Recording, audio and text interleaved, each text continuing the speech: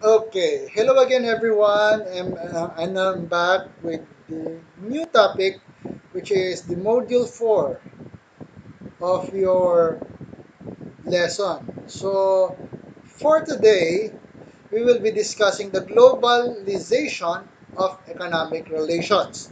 Now, before that, I will just do a recap of the previous three uh, modules that we've studied before. First off, we've studied the introduction to globalization. The second part, or the second module, we studied about the types of market and the market system. And on the third module, we studied the state and the globalization. Now, for um, for today, no, we will be discussing the globalization of economic relations. Okay, turn on the lights. So, what is economic globalization? When you say economic globalization, it is a historical process, the result of human innovation and technological progress. It refers to increasing integration of econo- economies around the world, particularly through the movement of goods and services and cap- capital across the borders. Now, the term sometimes also refers to the movement of people, gaya ng labor and knowledge, which is technology. So, nagkakaroon ng movement, no? that is part of the economic globalization, across international borders. And this is according to the IMF last 20, 2008. Now, the interconnected dimensions of economic globalization. Okay, the globalization of trade goods and services. When a country exports more than imports, it runs a trade uh, trade surplus. When a country imports more than it exports, it runs a trade deficit. So the large trade deficits in the middle and the late 1980s sparked political controversy that still persists today. So the global globalization of financial and capital markets. A country enjoys an absolute advantage over another country in the production of goods if it uses fewer resources to produce that, the good, that good than the other country does. So, for example lang, no? Um, suppose the uh, country A and country B, let's say Colombia South America and Brazil produce coffee. Mostly silang dalawa kasi yung um, top kasama sa top 10 coffee producers, no? But A's climate, country A's climate is more suited to uh, to coffee than its uh, and its labor is more productive. Country A produces more coffee per acre sa lawak than country B and uses labor, less labor in growing it and bringing it to market. Country A enjoys an absolute advantage over country B in production of coffee. Okay, absolute advantage. Absolute advantage in the production of goods enjoyed by one country over another when it uses less fewer resource to produce that goods than the country does. Okay. Trade barriers. Ang trade barriers, um, pwede rin siyang tawaging obstacles to trade, no? O malaking hadlang sa trade. It takes in many forms, no? Gaya ng um, yung tatlong common na trade barriers are tariff, export subsidies, and export subsidies and quotas. So, yung tatlong yon. So, unahin natin yung tariff o yung taripa sa Filipino. So, the average tariff on imports into United States is less than 0.5%. Certain pro- um, protective items have much higher tariff. For example, in 2009, former President Barack Obama of the United States imposed a tariff ng 35% sa gulong na inimport nila galing China. Okay. Export subsidies. It is a government payments made to domestic firms to encourage exports that can also act as trade barriers. Then you have quota. A quota is a limit on the quantity of imports. Quotas can be mandatory or voluntary and may be legislated or negotiated with foreign governments. For example, nag-aangkat tayo ng mga items from abroad, no? Yung mga imports. Pero we only need this kind of amount. So that is the quota. Yun lang, hindi pwede mag-exceed, no? Kasi once nag-exceed yan, this will cause a surplus. The globalization of technology and communication. Capital is not the only factor of production required to produce output. Labor is equally important. Siyempre, kung walang puhunan, kaila, bukod pa sa puhunan, you have also the labor. No? To be productive, the workforce must be healthy. Kailangan healthy. No? Um, may benefits, lahat. Health is not the only the issue, but the basic literacy as as well as specialized training in farm management. For example, uh, it can yield high returns to, the, to both the individual. Now, the globalization of production. Production is the process of which inputs are combined and transformed into outputs. Production technology relates inputs and out to outputs. Specific quantity of inputs are needed to produce any given service or good. Most outputs can be produced by a number of different techniques. In choosing the most appropriate technology, firms choose the one that maximizes the cost production. For a firm, an econ economy with a plentiful su supply of inexpensive labor but not much capital, the optimal method of production will involve labor-intensive technique. So, sa production kasi, hindi lang naman yan isang factory lang, no? Sometimes they distribute it anywhere around the world. Say for example, um, during the first um, discussion sa Module 1, uh, we have discussed that, uh, kwari, no? Kwari lang. Yung certain car company will have its factory on, let's say, Japan. But then, it has many factories outside Japan for production only of a certain part. No? And then, ibabalik yun sa Japan for production naman ng mismong kotse.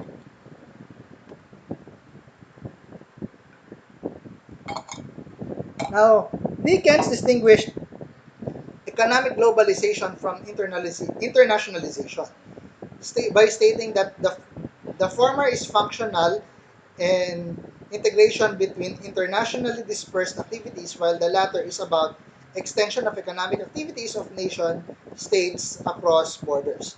Hence, economic globalization is more on qualitative change. Now, uh, let's talk about the World Trade Organization and the GATT. Now, on our previous discussions, sa Module 3, we have discussed um, the um, organizations, international organizations that help contribute with the globalization. And one of them is part of the World Bank Group, which is the World Trade Organization. And also, we will discuss about the General Agreement on Tariffs and Trades, which is the GATT. Now, the General Agreement on Tariff and Trade, it was established in 19, um, on 1974 with 23 nations established on the three principles. Una, equal non-discriminatory trade treatment for all member nations. Pangalawa, the reduction of tariff by multilateral negotiations. Pangatlo, the elimination of import quotas. And then, of course, yung World Trade Organization, this is just a review. It regulates international trade it deals with the rule of the trade between nations and ensure trade will flow smoothly, predictably, and freely as possible. And it also acts as forum in negotiations in trade agreements. Preferential Trade Agreement. In addition to multilateral initiative of GATT, countries in each of the world's region are seeking to lower barriers to trade within their regions. Historically, when, country en- when countries entered into preference agreement, they notified GATT, no? Between 1947 and 1992, there were 85 agreements that were notified while 77 new agreements have been added since 1992. Strictly speaking, for a few of the trade agreements fully conform with GATT requirements, although none was disallowed. Only Japan, Hong Kong, and South Korea are among the World Trade Organization members have not signed the preferential trade. Then you have the free trade areas. Ang free trade area naman is formed when two or more countries agreed to abolish all internal barriers Kaya na nabanggit ko rin kanina, yung mga barriers to trade among themselves. Countries that belong to a free, uh, that belong the free trade area can do and maintain independent trade policies with respect to non-FTA countries. A system of certificates of origin is used to avoid trade diversions in, uh, is in favor of low tariff members. Then you have the customs union. A customs union represents the logical evolution of a free trade area. In addition to eliminating internal barriers to trade, members of a customs union have established common external barriers. Noong January 1, 1996, yung European Union at ang Turkey kasi nag-initiate, nag-initiate sila ng customs union para ma-boost yung two-way trade above the currency current uh, annual level ng 20 billion US dollars. Now, the arrangement called for elimination of tariff averaging 14% that added 1.5 billion dollars each year to the cost of the European goods imported by Turkey. Then you have the common market. A common market is the next step in the spectrum of economic integration. In addition to the removal of internal barriers to trade and the establishment of the common external barriers, the common market allows for free movement of factors of production including labor, capital, and information. Now let's now go to the trade agreements and unions. Now first one, the first one is the North American Free Trade Agreement or yung NAFTA. The North American Free Trade Agreement signed by Canada, Mexico, and the United States creating a trilateral trade bloc in North America. It came into force on January 1, 1994, and it superseded the 1988 Canada-United States Free Trade Agreement between US and Canada and is set to be replaced by 2018 United States-Mexico-Canada Agreement. Then you have the Andean Community. The Andean Community was also a trade agreement okay, or customs union, I should say, na, na it comprises some um, uh, South American countries like Bolivia, Colombia, Ecuador, and Peru. The trade bloc was called the Andean Pact until 1996 and came to existence when the Cartagena Agreement was signed in 1969 in, and its headquarters are in Lima, Peru. Then you have the Mercosur. Now, the Mercosur, officially Southern Common Market, is a South American trade bloc established by the Treaty of Asuncion in 1991 and Protocols of Auro Oro Puerto in 1994. Its full members are Argentina, Brazil, Paraguay, Uruguay, and Venezuela. But then, Venezuela is a full member pero it has been suspended since December 1, 2016. Associate countries are Bolivia, Chile, Colombia, Ecuador, Guyana, Peru, and Suriname. Observer countries are New Zealand and Mexico. Now, their purpose is to promote free trade and the fluid movement of goods, people, and currency. It currently confines itself into a customs union in which there is a free intra-zone trade and common trade policies between member countries. Okay. In the Asia Pacific, we have, of course, the Association of Southeast Asian Nations or ASEAN.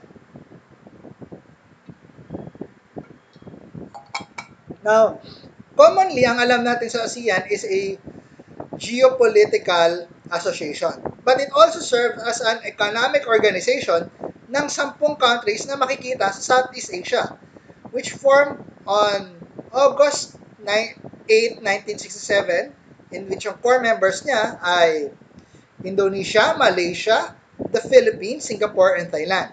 Since then, medyo dumami na membership nila. It expanded, included Brunei, Burma, or Myanmar, Cambodia, na parang awa nyo na yung mga bata, kawawa, Laos, Vietnam. Now, it aims includes include accelerating economic growth, social progress, cultural development among its members, protection of regional peace and stability, and opportunities for member countries to discuss difference peacefully. And then, of course, yung European Union. Now, they established a single market across the territory of all its members representing 512 million citizens. In 2017, the EU had a combined GDP of 21 trillion international dollars, a 17% of the global gross domestic product by purchasing power parity or PPP. As a political entity, the European Union is represented in the World Trade Organization. And sa Middle East naman, you have the Gulf Cooperation Council. Now, it's a common market that was launched on 2000, uh, January 1, 2008 with plans to realize fully integrated single market. It is the, uh, the movement of goods and services, however, implementation lagged behind after the 2009 financial crisis. The creation of the customs union began in 2003 and was completed and fully operational on January 1, 2015.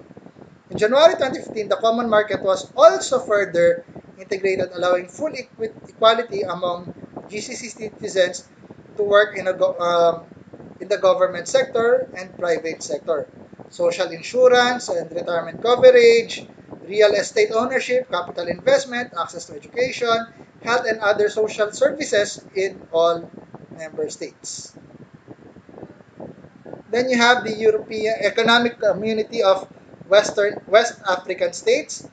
And the union was established on May 28, 1975 with the signing of the Treaty of Lagos with its stated vision to promote economic integration across the region.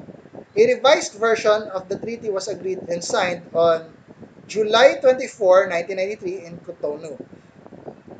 So considered as one of the pillar uh, of the pillar regional blocks of the continent-wide African Economic Community the state goal of ECOWAS is to achieve a collective self-sufficiency for its member states by creating a single large trade bloc by building a full economic trading union.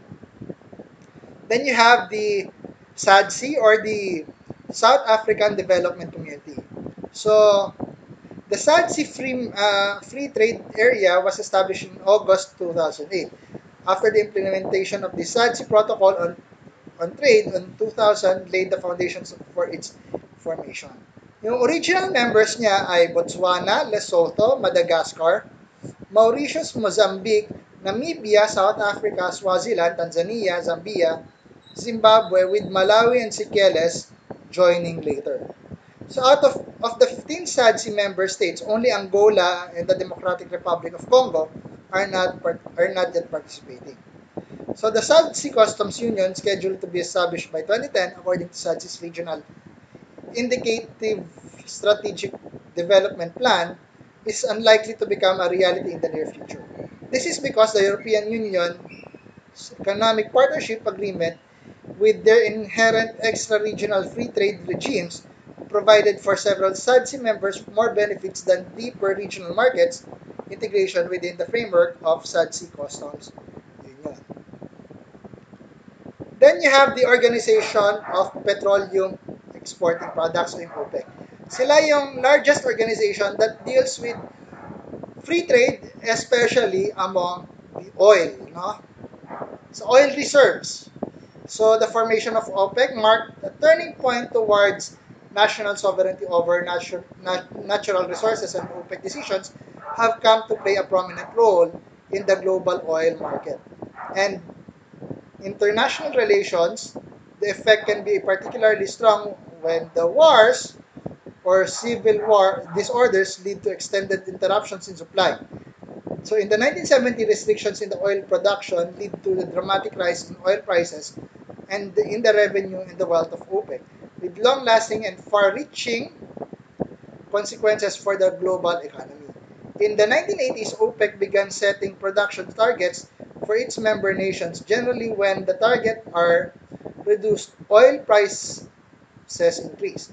This has occurred most recently from the organization's 2008 and 2016 decision to trim oversupply. So as you can see in this graph, um, the OPEC has almost 1.1 1 billion 183 189 billion 189 million ba- uh, barrels, almost 1 billion, sabihin natin, billion barrels or 79.4% ang shares ng OPEC. Now, ang non-OPEC members ay 300 almost 308.18 billion barrels per um, which is 20 20.6%. Now, in the next pie graph or pie chart, as you can see, ito yung mga oil producers. If you look closely, Venezuela and Saudi Arabia are the two producers when it comes to oil.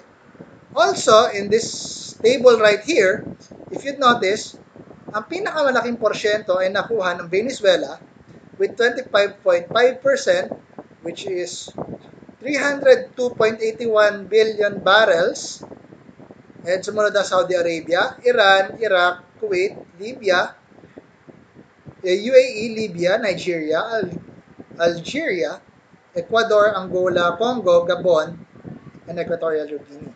So kung titingnan natin, Saudi Arabia and other Middle East nations are earning much when it comes to oil, no? And then you have countries from South America like Venezuela and Ecuador also sharing large portions. All and another thing is makikita mo rin dito some parts of Africa like Nigeria, uh, Nigeria, Libya, Algeria, Angola, Congo, and Gabon and Equatorial Guinea, Equatorial Guinea also have the shares in oil, no? So sila yung ano eh, ang oil ang largest oil reserve can be found in Venezuela. Sumunod lang Saudi Arabia. Okay. Now, let's go to the Bretton Woods system. Now, during the war, um, nag-decide yung Amerika na itipon lahat ng at least 44 allied nations, no? preparing to rebuild the international economic system while World War II still raging. There are at least 730 delegates from all 44 allied nations gathered at the Mount Washington Hotel in Bretton Woods, New Hampshire, sa United States for the United Nations Monetary and Financial Conference, also known as the Bretton Woods Conference. So, nagkaroon sila ng deliberation for 22 days, July 1 to 22, 1944, and signed the Bretton Woods Agreement on its final day. So, doon pa lang, sa Bretton Woods Agreement, na-establish yung dalawang organization under the World Bank, which is the International Monetary Fund or the IMF and the International Bank for Reconstruction and Development, which is now today a part of the World Bank Group. Now, ano ang naging role ng Pilipinas? Noong December 5, 1945, uh, inappoint ni President Osmeña si Resident Commissioner Carlos P. Romulo ng United Nations, uh, ating Resident Commissioner for the Philippines si Carlos P. Romulo as his representative to accept the Philippine membership sa International Monetary Fund and the International Bank for Reconstruction and Development, which bodies conceived at the Bretton Woods Agreement, in which Romulo signed the said membership on December 27, 1945 on behalf sa Philippines. Okay, developing countries and the international trade. The United Nations Conference on Trade and Development or UNCTAD came into being in 1964. That was the first major change in the state of affairs developing nations into international trade as they did not participate actively in the multilateral trade negotiations for the relatively long time. So some key trade facts. When you say trade deficit, it occurs when imports exceeds exports. So, for example, the United States has a trade deficit in goods. In 2012, U.S. imports of goods exceeded U.S. export of goods by 735 billion dollars. When you say trade surplus, it occurs when exports exceeds imports. Now, the United States has a trade surplus in the services such as air transportation services and financial services. Noong 2012, U.S. exports of services exceeds U.S. imports of services by 196 billion.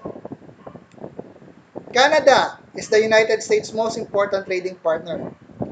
Noong 2012, about 20% of the US exported goods were sold to Canadians.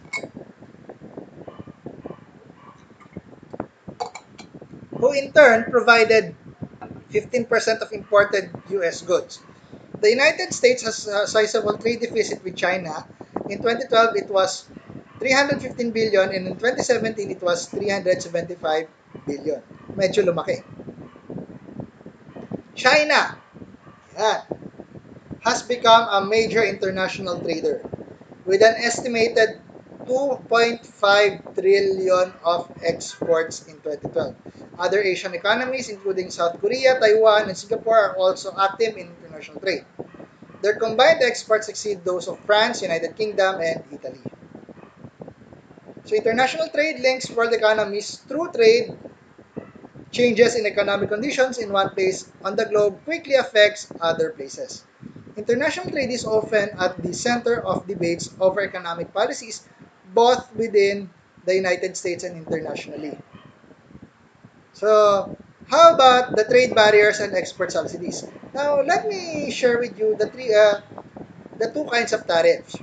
Of course, first one is tariff itself, which are excise tax or duties on the dollar value or physical quantities of export goods. While a revenue tariff is usually applied to a product that is not being produ produced domestically, for example, tin, coffee, or bananas in the case of the United States. Then yung protective tariff is, an, is implemented to shield domestic producers from foreign competitions. So these tariffs impede free trade by increasing the prices of imported goods and therefore shifting sales toward domestic producers. So import quota is a limit on the quantities or total values of specific items that are imported in some period. An export subsidy consists of government payments to a domestic product or export goods and is designed to aid the producer. By reducing the production cost, the subsidies enable the domestic firm to charge a lower price and thus sell more imports in the world market. Okay, Last, the McDonaldization of society. Now, have, um, you may wonder, bakit kasama to? Kasi um, one, McDonald's is of course the one of the world's largest multinational corporation. So, let me discuss with you their process. Okay, the basic organization principle. Efficiency. Ray Kroc, the marketing genius behind McDonald's, set out with one goal.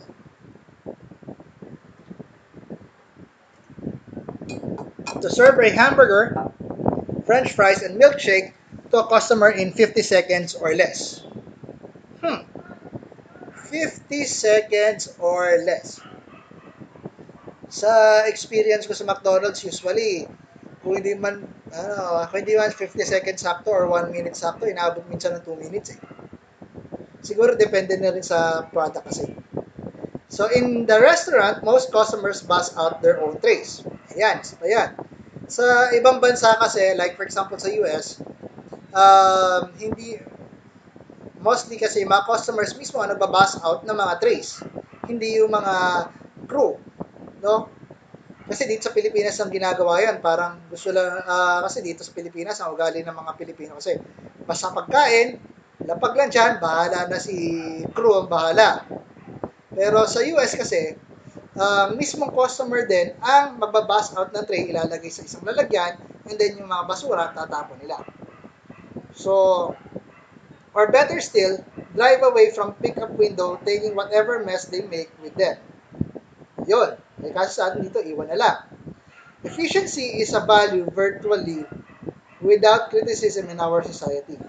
We tend to think that anything done quickly for that reason alone, good. Okay, calculability. The first McDonald's operating manual declares the weight of a regular raw hamburger is to be 1.6 ounces. Medyo malaki. Its size to be 3.875 inches across and its fat content, okay, take note sa mga health conscious, fat content is 19%. Talagang malaking calorie yan. A slice of cheese weigh exactly half an ounce, and french fries are cut precisely precisely 9 by 32 of an inch thick. Think about how many objects around the home, the workplace, or the campus are designed and mass-produced uniformly according to a standard plan. Not just our environment, but our life experiences from traveling the nation's most uh, interest to sitting at home viewing television are more now more deliberately planned than ever before. Unity and predictability. An individual can walk into McDonald's restaurant almost anywhere and buys the same sandwiches, drinks, and dessert, uh, desserts prepared in precisely the same way. Uniformity results from high ration, rational system that specifies every action and leaves nothing to chance. Now, this reminds me, no, um, not exactly uniform, pero let's say, sa, dito sa Philippines, uniform ang product. Pero if you go to the uh, outside of the Philippines, let's say US, iba ang McDonald's sila doon kaysa McDonald's natin dito.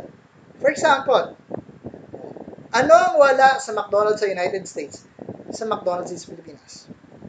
Number one is rice. Walang rice sa US. Of course, tayo dito kasi rice is rice, mahilig tayo sa kanin, kaya uh, in every chicken, of course, there is rice as our meal. Samantalang sa US, wala. No? Another one, let's talk about the chicken. Total, chicken naman talaga. Dito sa atin, sa Pilipinas, ang regular natin is different from the regular chicken in other Southeast Asian neighbors, particularly sa Singapore and Malaysia, or sometimes, or siguro possibly Indonesia. Now, in as they say, iba yung ano eh, yung chicken nila dun eh. Kung sa atin, yung regular natin dito is typically regular talaga. Samantalang if you go to Malaysia, as they say, yung regular nila doon is just is equivalent to our hot and spicy dito. Gets nyo? So, kumbaga, yung hot and spicy nila dito, sa atin dito, is regular pa lang sa kanila doon. And yung hot and spicy nila dito, let's say, para ka na rin nakakain ng Korean fried chicken dito na sobrang anghang. Yung super anghang as in, siguro, double the, ano, hotness o yung pagkaanghang, doble. Sabihin natin equivalent ng dalawang sining labuyo. So parang ganun, no? Yun yung hot and spicy sa kanila. Eh dito sa atin, hot and spicy natin is talagang regular pa lang doon. No? Another one. Speaking of uh, sa, sa ano to ah, sa drinks. Okay. Yung large natin dito was enough for us. Di ba? And in the United States, if you go to the United States, yung drink sila doon, especially sa soda, is self-service. No, unlike dito na sinaserve na. Although it's self-service then sa US, but their large is different from the large dito. So, ang large natin dito is just a regular doon sa United States. Regular drink pa lang nila yun. Naalala ko yung pinsan ko na, na galing States. Bumili siya ng ano, uh, sa isang fast food na two large cokes o two large na soda. And then uh, bumili siya ng ano, muna isang large pa lang pala. Isang large na soda. Nung pagkakita niya, sabi niya sa akin, parang regular pa lang ito doon sa kanila. So he ordered two large para sa kanya lang 'yon. So ibig sabihin, yung two large, yung large natin dito, doblehin mo yon, that would be the large sa US. It's like parang nakainom ka na rin ng at least dalawang uh, family size na soft drinks. Not necessarily 1.5, pagka 1, uh, 1.5, ibang usapan na yun. Okay. Control through automation. Now, the most unreliable element in McDonald's system is the human beings. People, after all, have a good and bad days, sometimes let their minds wander or decide to try something a different way. To minimize the unpredictable human elements, McDonald's has automated their equipments to cook food and to fix temp at a fixed temperature for a length of time. Even the cash register at McDonald's is keyed to picture the items so that ringing up customers' orders is as simple as possible. Now, parang ganito yan eh. Um, right now, some branches of McDonald's have this automated ordering system. Um, na-try ko yan personally doon sa isang branch malapit sa LRT Hilpuyat or sa Buendia. Um, ano siya eh, parang syempre touchscreen na lang kung ano yung orderin mo. And then, pagkalabas yung resibo, present mo sa counter, kasama na nung ano, then after ilang minutes, makukuha mo na yung ano, yung bayad. Ay makukuha mo na yung order mo and then magbayad. Parang ano lang eh, parang sabihin natin ganito, iwas pila. Kumbaga tatawagin na lang, maglalabas dun yung number sa taas and then pagkalabas yung number mo, bigay mo lang yung payment mo and then makukuha mo na yung order. Parang ganon. So very automated na siya. So that would be it for module 4. Um, all the activities with regards to this module can be found in your module. And also, by the way, um, if you want to know more, please subscribe to my channel and click the notification button, the bell one, for more information. Now, until then, I'll see you next time on my fifth module and we will discuss naman there about the global corporations. No? So until then, I'll see you on the next discussion.